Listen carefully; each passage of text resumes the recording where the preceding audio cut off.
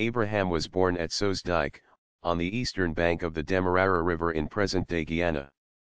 His Essequibo-born father, Frederick Abraham, played a single match for British Guyana in September 1883.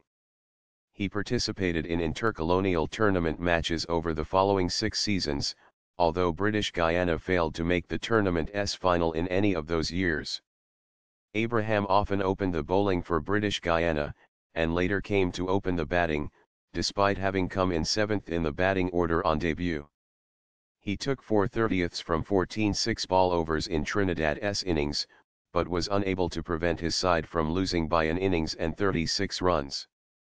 During World War I, Abraham enlisted as an officer cadet with the 16th Battalion of the Lancashire Fusiliers, having previously been a sergeant in the West India Regiment, drawn from the British colonies in the Caribbean.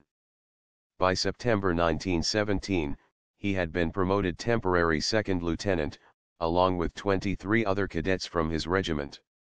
Abraham was killed in action at Goncourt, France, in early October 1918, and buried at Joncourt East British Cemetery.